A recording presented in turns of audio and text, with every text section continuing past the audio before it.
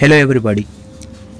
Our topic is what will happen if we sugar is mixed with cement. In this video, I gonna explain what will happen if we add sugar as an admixtures with an experiment. Before going to experiment, we should know what the function it will involves in sugar. Let's we discuss about sugar. Sugar. Sugar is an admixture which acts as a retarder and accelerator, which means it contains both retarder and accelerator as a function. Retarder retarder increases the setting, setting time and accelerator decreases the setting time. Scientists have discovered that if they add sugar as an admixture in the cement, what will the reaction between in between them?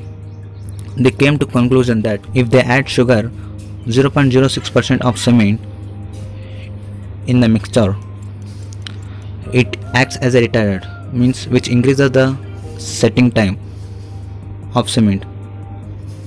And if we add more than this percent, then this percentage acts as a accelerator which decreases the setting time.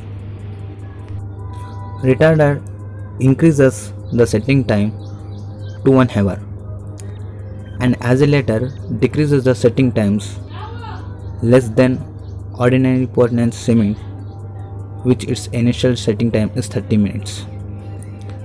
Now we, we will know that what will the effects of sugar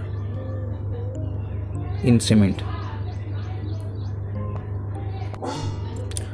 Sugar has its effects in setting time and its strength and it's not have any changes in the workability of the cements. Cement, sugar. In this video, experiment in between sugar and cements are connected. Watch this video fully. Yeah.